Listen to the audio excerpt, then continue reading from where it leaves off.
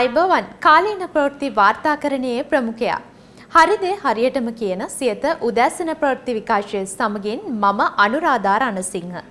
ප්‍රථමයෙන් නවධානය පුවත් සිරස්තල වෙත. ආදෑම වැඩි කරන හැටි ක්‍රම සහ විධි කාරක සභාව පහදයි. වසර දෙකක් ඇතුළත බදු අභ්‍යාචනා අවසන් කරලා ඒ කටයුත්ත නිම කරන්න ඕනේ. IMF දෙවන නයවාරිකයේ සුභ පනිවිඩය. එමකෙස් දෙවනි ත්‍රංචක අපිට හම්බවීමේ විශාල සම්භාවිතාවක්. සජිත් දාගත්ත සාටකය. I'm wearing the shawl. Sabry සහ හර්ෂ පැටලෙයි. දැන් අවධානය දේශීය පුවත් වෙත. දෙදහස් විස්සට සාපේක්ෂව එක් පුද්ගලයෙකු රුපියල් ලක්ෂයක් වැඩියෙන් රජයට බදු ගෙවා ඇතැයි ක්‍රම සහ විධිකාරක සභාවේ සභාපති පාර්ලිමේන්තු මන්ත්‍රී පාටලි චම්පික රණවක පවසනවා. වැඩ්බද්ද ඉහළයාමත් සමග දෙදහස් විසිහතරේදී තවත් රුපියල් තිස් දහසක වැඩිපුර බදු ගෙවීමට එක් පුද්ගලයෙකුට සිදුවනු ඇතැයි ඔහු වැඩිදුරටත් සඳහන් කළා.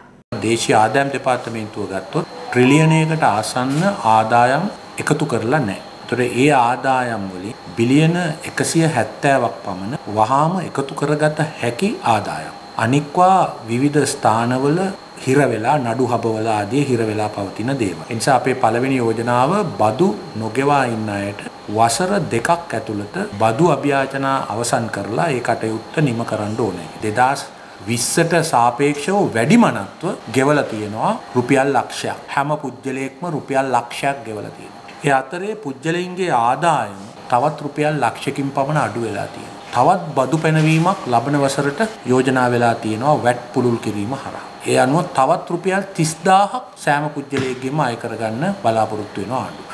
බදු කිසිම වැඩි කිරීමකින් තොරව දැන් පවතින බදු ප්‍රමාණයම විධිමත් එකතු කිරීමේ යාන්ත්‍රණයක් ඩිජිටල් වේදිකාවක් තියෙනවා නම් 145කින් පමණ වැඩි කරන්න පුළුවන් බව. ඒක මේ අපේ බදු එකතු කිරීමේ ක්‍රියාවලියම අපිට පෙන්නලා තියෙනවා. තරම් ගෙනීම වෙලාවේ අවශ්‍ය නම් රේගු දෙපාර්තමේන්තුව තිබුණා 300ක බද්දක් ගහන්න. ඒකට එහෙම කරේ නැහැ. නමුත් අපි දැන් නියෝග දීලා තිනවා ලබන ජනවාරි මාසයේ සිට 300ක බද්ද අනිවාර්ය කරන්න. විදේශවල රැකියා කළා එන අය මහන්සියෙන් උපයාගත්ත දෑ තියෙනවා. ඒ සඳහා ග්‍රෑම් 100කට අඩුවෙන් රත්තරන් ගෙනීමේ බාධාවක් නැහැ. සුරාබදු දෙපාර්තමේන්තුවට දැන් බිලියන ගානක අතිරේක ආදායමක් එකතු වෙමින් යනවා. බදු නොගෙවා හිටපු සමාගම් පහකට බලපත්‍ර දින කීපයකට නතර කිරීම නිසා දැන් ඒගොල්ලෝ ගෙවීම් ක්‍රමවේදයකට ඇතුල් වෙලා තියෙනවා. තවත් රුපියල් බිලියනයක් එකතු වෙන්න නියමිතයි සුරාබදු දෙපාර්තමේන්තුවේ ආදායම හැටියට. නගර සභා හා මහනගර සභා බල ප්‍රදේශවල 3661ක් යාචකින් වාර්තා වෙලා තියෙනවා. මේකෙන් 155ක් කාන්තාව. දින යාචක සම්බන්ධ ප්‍රතිපත්තියත් අපි ඉදිරියේදී ක්‍රියාත්මක කරන්න නියමිතයි. අපි යෝජනා කළා විදුලි බිල ඒකක 30ට වඩා අඩුවෙන් පාවිච්චි කරන අයට මේ අස්වැසුම දෙන්න වැඩපිළිවෙල සකස් කරුවා නම් කිසි ප්‍රශ්නයක් වෙන්නේ නැහැ. මොකද 2023 වසරේදී සමෘද්ධි පවුල් 17 ලක්ෂ 60000කට සමෘද්ධිය ලබා දීලා තියෙනවා. ඒතකොට මේ අස්වැසුමෙන් ලබා දෙන්නේ පවුල් 20 ලක්ෂයක්. පවුල් 37 ලක්ෂයක් ඉල්ලුම් කරලා තියෙනවා. මේකට පිරිවිතර 26ක් බලනවා මේ පවුල් ටික තෝරන්න 37 ලක්ෂයෙන් 34 ලක්ෂයක් පරීක්ෂා කරලා තියෙනවා. ඕන් ඒකෙන් 20 ලක්ෂයක් තෝරගත්තා කියනවා. හැබැයි තාම දෙන්නේ 13 ලක්ෂයයි 16 ලක්ෂයයි අතර ප්‍රමාණයක්. විදේශ කටයුතු කම්කරු හා විදේශ රැකියා යන අමාත්‍යංශයන්හි වැෑශීෂ්‍ය පිළිබඳ විවාදය අද පාර්ලිමේන්තුවේදී පැවැත්වුණා. විවාදය අතරතුර අමාත්‍ය අලි සබ්‍රී සහ මන්ත්‍රී හර්ෂද සිල්වා අතර උණුසුම් වාද විවාද ඇති වුණා. මේ අතර මැද පෙරදිග කලාපයේ ඇතිව තිබෙන යුදමය තත්ත්වය හෙලා දකිමින් විපක්ෂ නායක සජිත් ප්‍රේමදාස අද සාටකයක් පැළඳ පාර්ලිමේන්තු සැසිවාරයට එක් වුණා. විදේශ ශ්‍රමිකයින්ට සහන දෙන්න අකමැති බාණ්ඩාගාරයේ නිලධහරින් ගැන අමාත්‍ය මනුෂ නානායක්කාර අද පාර්ලිමේන්තුවේ සිය අප්‍රසාදය පළ කළා. ඒ ඇතුළු පාර්ලිමේන්තුවෙන් ඇසුණු කතා දැන්.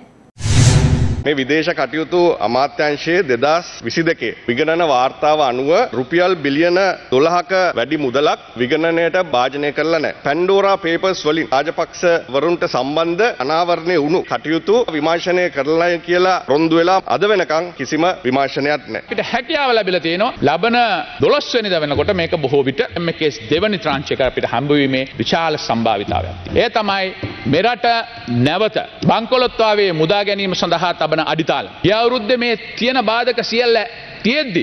අපිට පුළුවන්කම ලැබිල තිබෙනවා ලංකාවට ඩොලර් බිලියන එකයි දශම පහක ආයෝජන ඇති කරගන්න. කොන්සීල ඩිවිෂන් එක ශාල පරිවර්තනයක් කරලා තියෙනවා ඒකේ සම්පූර්ණ ගෞරවය ආයුත්තේ අපේ නිල්ධාරීන්ට සහ විශේෂයෙන්ම අපේ ස්ටේට් මිනිස්ටර්. පෝලිමුත් නැති කරලා තියෙනවා. එතනට එන ප්‍රමාණය 50කින් අඩු වෙලා තියෙනවා. The consular division was made electronic from the original system in 2017. It was done under the direction of Ambassador Ganegama Arachi. I never said that the IDAS system. We introduced e-channeling system last year in order to give appointment. Just, just say the truth, man. You all, you all created all the that nonsense. What Yes. are you? Why you don't need to scream like an idiot? It is easy for somebody to write theories and make lectures. What matters is when it's required on the ground, take up the challenge and face it. What did you do? No, what did you? okay. Did you stand up for your own community? Please calm down. I'm wearing this shawl to express my solidarity to attain peace in the Middle East. මේක අඳින්නේ ලෝක සාමය වෙනුවෙන්. You listed various international visits undertaken by the president and by members of the government. You have to engage the international community. අපිට දැනගන්නට ඕන ලැබුණු ප්‍රතිලාභය. රටේ dollar සංචිත පල්ලෙහාටම වැටිලා තිබිච්ච වෙලාවක ඩොලර් එවන්න කියලා ඉල්ලපු වෙලාවේ මේ මුදල් ලබා ගැනීම සඳහා ඉලෙක්ට්‍රික් වාහන බලපත්‍ර ක්‍රමයක් හඳුන්වලා දුන්නා. දල වශයෙන් 900කට ආසන්න විද්‍යුත් වාහන සඳහා බලපත්‍ර නිකුත් කරලා තියෙනවා. ඒ සඳහා ඩොලර් මිලියන 100කට වඩා වැඩි මුදලක් රට ඇතුළට ඇවිල්ලා තියෙනවා. ණයවර නිකුත් කරන්න තියෙනවා. නමුත් ඒකට මහා භාණ්ඩාගාරය තවම ඒ සඳහා ප්‍රතිචාර දක්වලා නැහැ. ජනාධිපතිතුමා ඉල්ලීම් කරලා මොකද ඉතින් ගෝඨාභය රාජපක්ෂ මහත්තයාගේ කාලෙත් මහින්ද රාජපක්ෂ මහත්තයාගේ කාලෙත් ඔය කියන රට වැටුණයි කියන කාලෙත් ට්‍රෙෂරිය ඇතුලේ හිටියේ එකම නිලධාරී. වගේම ඉතිහාසයේ වැඩිම පිරිසක් විදේශ රැකියාව සඳහා ගියේ ඒ අවුරුදු 3,12,000ක මුදලක්. මේ අවුරුද්දෙත් ලක්ෂ 3 සීමාවට යයි කියලා අපි විශ්වාස කරනවා. ඊයේ වෙනකොට 2,78,000 සීමාව ඉක්මවා තිබුණා. මේ රටේ වැඩ කරන ජනතාවගෙන් තාත්සේ බහුතර ඉන්නේ පෞද්ගලිකංශේ රැකියා කරන ශ්‍රමිකයන්. නමුත් මේ අයවැය කිසිදු සඳහනක් කිසිදු සහනයක් මේ පුද්ගලිකංශේ අතිවිශාල සේවකයන් වෙනුවෙන් යොදවලා නැහැ. එක පවුලක් මත 2024 අවුරුද්දේ රුපියල් 13500ක අලුත් බදු බරක් එනවා. පඩිය සත පහක්වත් වැඩි වෙලා නැහැ. ඒතර කොහොමද මේ අය ජීවත් වෙන්නේ? යහපාලන ආණ්ඩුව මොකක්ද කළේ අපේ රට සම්බන්ධයෙන් යෝජනාවක් ජිනිවා නගරයේ ඉදිරිපත් කළා. ඒ යෝජනාවෙන් දොර විවෘත කළා. අපේ රටේ අභ්‍යන්තර කටයුතු වලට අතපොවන්න දේශීය විනිශ්චයකාරවරුන් පත් කරන්න මේ රට ගැන විමර්ශන පවත්වන්නට. දැන් විමර්ශන පවත්වනවා. දැන් මේ සොයාගෙන යන්නේ විමර්ශනය කරන්නේ යුද අපරාධ සම්බන්ධයෙන් පමණක් නෙවෙයි ඉකොනොමික් ක්‍රයිම්ස් ආර්ථික අපරාධ. ඒ ක්ෂේත්‍රයට ඇතුළත් වෙනවා කියලා ඒගොල්ලෝ ප්‍රකාශ කළා දෙනවා. ඩොලරේ අපිට එපා කිව්වොත් ඇමරිකාවේ ආධිපත්‍යය එතනින්ම ඉවරයි. ඒ නිසා මම යෝජනාවක් ගැන අපි බ්‍රික්ස් වලට එකතු වෙමු කියලා. ලෝකේ රටවල් 20ක් බ්‍රික්ස් වලට එකතු වෙන්න ඇයදුම් කළා තියෙනවා. ශ්‍රී ලංකාව බ්‍රික්ස් සංවිධානයට එකතු වුණොත් තමයි අපේ ඊළඟ පිම්ම පැන ගන්න පුළුවන් වෙන්නේ. මම මේ ගැන ජනාධිපතිතුමාට ලිව්වා අගෝස්තු මාසේ 25 වෙනිදා. ජනාධිපතිතුමා විදේශ අමාත්‍යාංශ ලේකම්තුමියට ඒ ලිපිය යොමු කළා කියනවා සැප්තැම්බර් 18 වෙනිදාට පෙර මෙතුමාට පිළිතුරක් යවන්න විදේශ අමාත්‍යාංශයේ ස්ථාවරයේ දැනුම් දීලා. දෙසැම්බර් 18ටත් කිට්ටුයි විදේශ අමාත්‍යාංශ ලේකම්තුමිය ඒ වැදගත් ලිපිය උඩ තාම වාඩි වෙලා ඉන්නවා. අද වෙනතුරු පිළිතුරක් ලැබුණේ නැහැ. බ්‍රික් පිළිබඳව අපි අධ්‍යයනය කරගෙන ඉන්නවා මම හිතනවා අපිට ප්‍රශ්නයක් නැහැ ඒ සම්බන්ධ ඉල්ලීමක් කරන්න පුළුවන් ගැටලුවක් නැහැ ඒක කරමු අගදිම කැබිනට් එකට යන්න බලාපොරොත්තු වෙනවා මම අපේ රටේ පුරවැසියන් මිලියන ගණනක් අද විදේශ රටවල් රැකියාව කරනවා. ඔවුන්ට අද ඡන්ද අයිතිය පාවිච්චි කරන්නට අවකාශයක් නැහැ. තවත් ප්‍රමාද නොකර විදේශගත අපේ පුරවැසියන්ටත් ප්‍රධාන මැතිවරණවලදී තම ඡන්ද අයිතිය පාවිච්චි කිරීමේ අවස්ථාව සලසා දීම සඳහා අවශ්‍ය පියවර ගැනීමට කටයුතු කරાવી කියලා මම විශ්වාස කරනවා. විදේශ රටවල් මහිතා හතලිස් ගන්නක්ද කොද අපේ තානාපතිවරු මහකොමසාරිස්වරු ඉන්නවා. දැන් මේ අය ගිහිල්ලා මොනවද කරන්න කියලා ප්‍රෝග්‍රෑම් එකක් වැඩ පිළිවෙලක් තියෙනවද සඳෑ කාලේ ගත කරන්න යවන තානාපතිවරුත් ඉන්නවා. ලංකාව තුළ විදේශ කටයුතු අමාත්‍යංශයේ මේ වෙනතුරු ස්ටෝලන් ඇසට්ස් රිකවර් කරන්න කරපු එක ක්‍රමවේදයක් කියන්න. මේ ස්ටෝලන් ඇසට්ස් රිකවර් එක හරහා පහුගිය අවුරුදු 21 තුළ ෆිලිපීන්ස් වල බිලියන 21ක් රට තුළට ආපහු ගෙනත් තියෙනවා. පෙරු වල බිලියන 174ක් රට තුළට ගෙන්නගෙන තියෙන ඒ රටවල්. පහුගිය අවුරුද්දේ විශාල අරගලයක් කරේ bring back the stolen money. ඇයි විදේශ කටයුතු අමාත්‍යංශයෙන් මේ වගේ දේවල් පිළිබඳව කිසිම උනන්දුවක් කරන්නේ නැත්තේ? විදේශ කටයුතු අමාත්‍යතුමාටයි හිටපු මේ මුදල් හොරකම් කරපු අයටයි අතර ලොකු සම්බන්ධයක් තියෙනවා. ඒක රටට වහන්න ඕනේ. රටේ සමුළු වලට රෝකේ වටේ ගිහිල්ලා කරන්නේ මොනවද? මං හිතන්නේ විදේශ අමාත්‍යංශයේ නිලධාරීනුයි ජනාධිපතිතුමයි ඇමතිවරුයි මං හිතන්නේ ෆොටෝ ඇල්බම් එකක් හදා ගන්නත් දන්නේ නැහැ. ෆොටෝ ගහනවා දානවා දානවා. එමතුමා නැගිටලා ඉන්නවා කෙලින්ම කියන්න දෙන්නවද? කොටියා කියලා කියයි. කියන්න ප්‍රශ්නයක් නැහැ. රටේ හොරකම් කරපු සල්ලි ගේන්න ඉස්සල්ලා. බොහොම ආසයි කොටිය කියලා කියව ගන්න. අර උතුරේ ඡන්ද ටිකට තමයි මේ කොටිය කියව ගන්න ආස.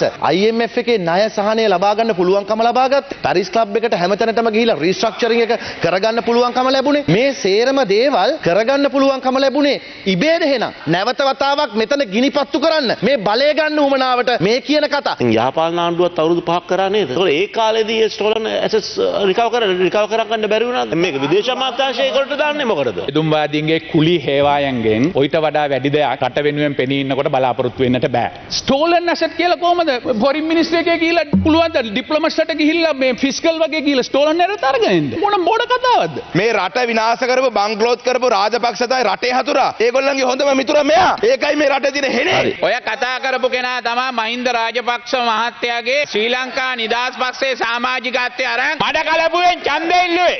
යන්න එපා. ඒ ළඟ ඇවිල්ලා වාඩි වෙලා අහගන්න. මේක මඩ කලපුවෙන් ඇවිල්ලා නුවර ඉඳලා සිංහල ගෙවල් වල කාලා මූ වෙනවා කොටිය කොටිය කියාගෙන දැන් මේ TN එක වෙනස් කරන්න. උතුරේ මගුලක්වත් හම්බෙන්නේ නැහැ ඊළඟ තරේ ඡන්දෙදී. ඒත් සමගින් උදැසන ප්‍රවෘත්ති විකාශය නිමාවට පත්වනවා.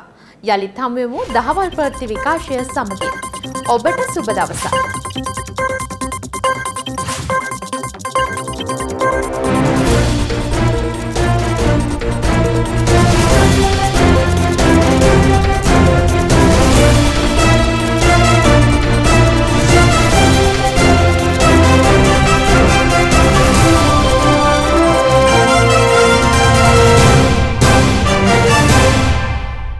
රටේ ලෝකෙ සිදුවන උණුසුම් පුවත් දැනගන්න සියත නිවස් YouTube channel එක අදම සබස්ක්‍රයිබ් කරන්න.